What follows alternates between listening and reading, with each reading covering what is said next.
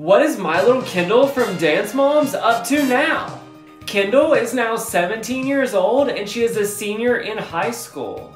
She enjoys playing golf and is on the golf team at her school. Kendall is still really close to a bunch of her Dance Moms co-stars.